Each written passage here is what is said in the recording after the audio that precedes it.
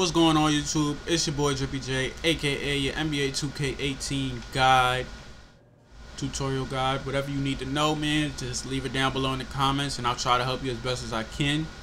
And today, basically, all we got for you today is me.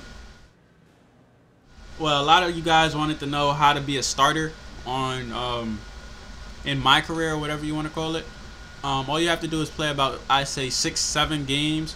And then after that, uh, Coach D will send you a message. That means you'll be out there more starting next game. And then I'm wondering when I'm going to reply, but it really doesn't matter, I'm guessing. So I'm going to just reply the fire emoji.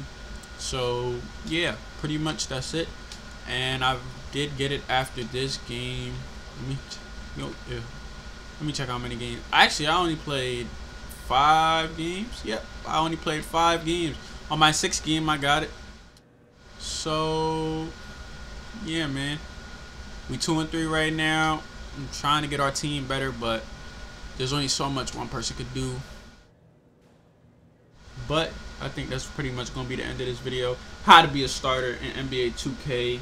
You have to play five games just about. Make sure that you try to do as good as you can in those five games. I really don't know if it matters or not. But, yeah. And if this doesn't help you, I'd say before your 10th game, you'll have it. And if you don't have it before your 10th game, just leave a comment down below. And I'll try to help you as best as I can. Thanks for watching and stay blessed up. It's been your boy Drippy J. Hope this video helped. Leave a like if you enjoyed. Subscribe if you're new, man. We on a daily grind. You already know. You want something to drop?